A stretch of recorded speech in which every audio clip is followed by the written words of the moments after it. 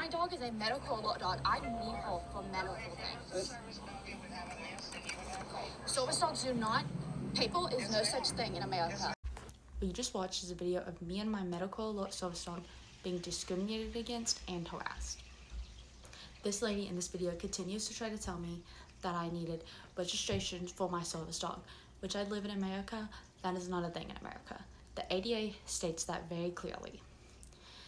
Um, she also continues to try and judge my dog because my dog is dyed fun colors. Because I'm a 17 year old girl with a service dog, I'm gonna make her look pretty, pretty and colorful. Um, service dogs can be dyed. It's not against the law, and just as the same as somebody having a pink or blue trail, it's the equivalent to that. You shouldn't judge it just because it's colorful. She's still medical equipment. This lady discriminating and harassing my service dog is the equivalent as somebody denying access to, to somebody in a wheelchair. They are both equal. They are both medical equipment.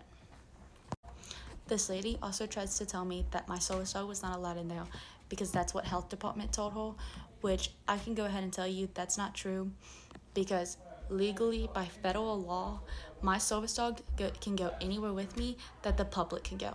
The only places a service dog can be denied access in America is a surgical room, a burn unit in a hospital, and a petting zoo.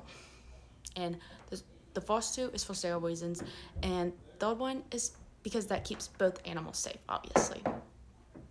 So what this lady did was breaking federal law and also discrimination.